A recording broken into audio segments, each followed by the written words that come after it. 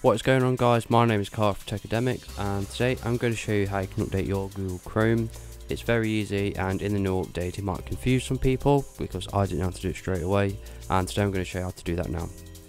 So the first thing you want to do is open your Google Chrome up obviously and when you've opened that up you want to go to these three dots and you want to click on settings. Once you've done that uh, you might not see an update page now so this is where it's actually changed so you want to click on these three bars here and you're still not going to see a place where it says update but instead you want to click on here where it says about Chrome. Click on that and then what it will do is automatically update for you. Uh, in this case my Google Chrome is automatically up to date and all you have to do is restart Google Chrome which it will prompt you to do and that is literally it